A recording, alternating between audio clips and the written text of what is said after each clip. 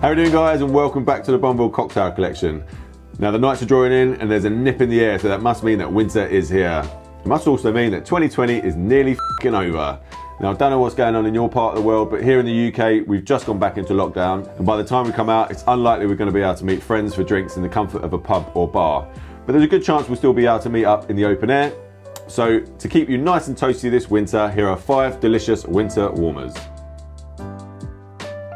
All right guys, first up is a drink called Hot Grog. Now we've never really discussed grog on this channel before and we really should do a video dedicated to it and drinking in the Navy in general.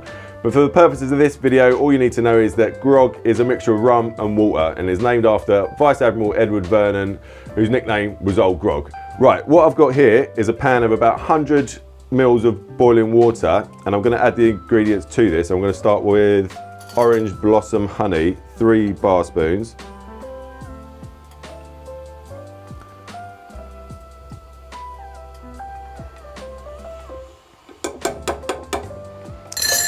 And next up, the juice of half a lime.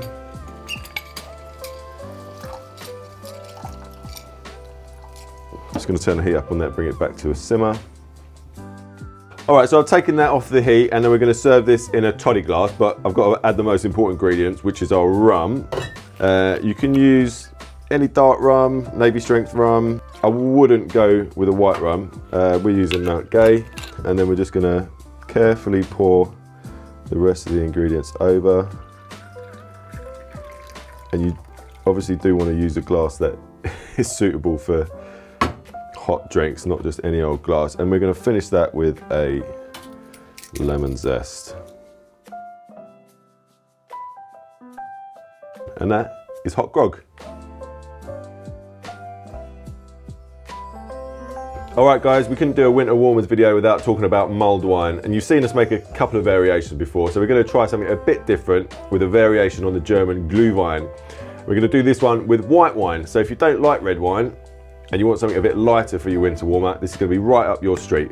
So let's start with our wine. I'm gonna go with 100 mils of, you want medium to medium dry like a Gewürztraminer or something like that. Any German medium white, white wine will do. And then this is 25 mils of lemon juice.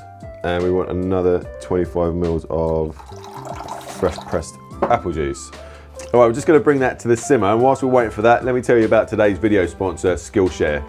Skillshare is one of the biggest online learning platforms, and since working with them, I myself have learned absolutely loads. At the moment, I'm following a course called Podcasting Secrets How to Start Your Own Podcast by Nicola Matthews Okome. Now, this course has been invaluable to me as we've been recording podcasts over on our sister channel the Distilled Truth. And is a new style of content for us, so I've been able to learn some great fundamental skills from this course. In fact, I'm using some of those techniques now to record this voiceover. I think you'll agree now is a perfect time for us to be learning new skills from home. So the first thousand people to use the link down in the description will get a free trial of Skillshare Premium membership. And after that, it's only around $10 a month. So give Skillshare a try, you will not be disappointed. Right, our wine has simmered. You don't want to overboil it and cook off all the booze. You just give it a light simmer, bring it to temperature, take it off the heat. We've got our toddy glass and we're going to finish off with a shot of Dom Benedictine, 25 mils. Now this is going to give it a bit of an extra kick and add a bit of sweetness to balance that lemon juice. Now you can use any sort of herbaceous liqueur like Drambuie or something like that. We're using Dom. And we're going to pop a lemon slice studded with clove and then we're just going to pour our hot wine and juice.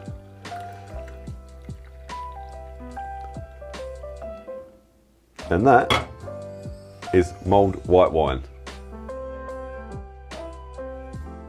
All right, when you think of winter warmers, tequila probably isn't the first spirit that springs to mind, but you're gonna love this Mexican twist on an Irish coffee, the Hot Mexicano.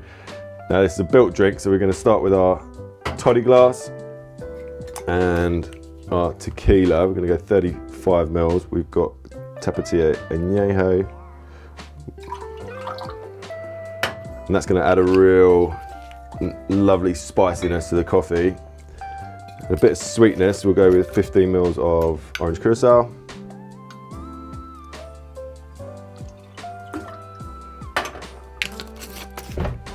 And we're going to top with our hot coffee.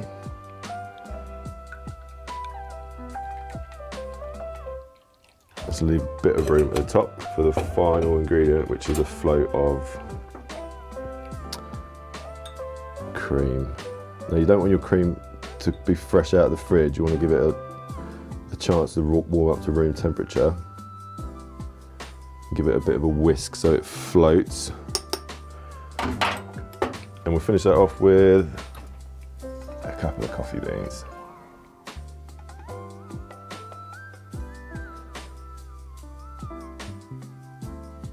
And that is a hot Mexicano. All right guys, next up we are gonna do a little twist on the classic hot toddy and this is called hot scotch tea. And as you can probably guess from the title, it's just got tea in it instead of boiling water. But actually you'll find tea and the Scotch pair really, really well together and it's a bit more interesting, a bit more complex than a, than a classic hot toddy. So we're gonna start with our English breakfast tea. Careful, that's hot. we'll go about a cup's worth into our saucepan. Next up is whole cloves. There's about five in there. We're just gonna put that in loose. We need a spoon of orange blossom honey.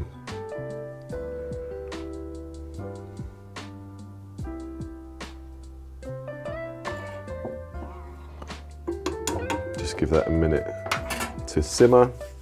All right, that's coming to a simmer. We're just gonna grate a little bit of nutmeg in there. All right, so we're gonna serve this in a little tankard like this. We just need to add our scotch. It's gonna go with 60 mils.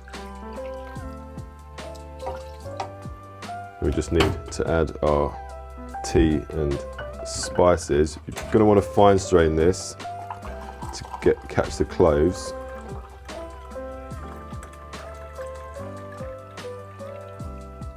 and a cinnamon stick. And then we'll just finish off with another dusting of nutmeg. And that is hot scotch tea.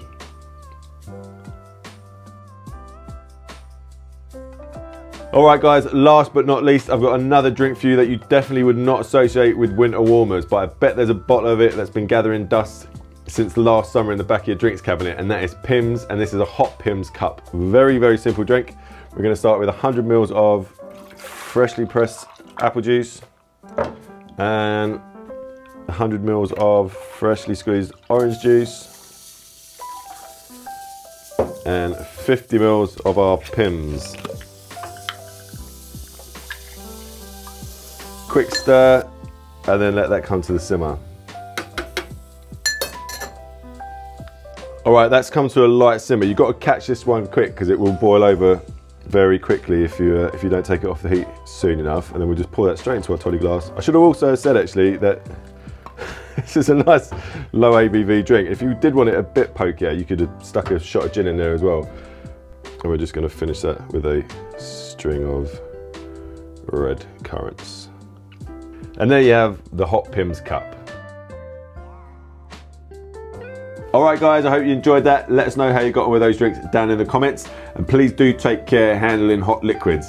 Don't forget to keep an eye out for those podcasts coming out over on the Distilled Truth. And we'll see you back here very soon for our Christmas edition. As always, don't forget to like, subscribe, and share. And we'll see you soon. Just whack them all in.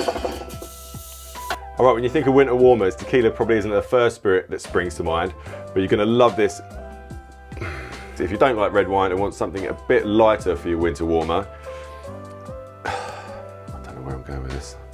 Named after Admiral Edward Vernon. And while, so we're just going to bring that back to the simmer. That's distracting me. Set on fire. And whilst we're waiting for that, this is a perfect opportunity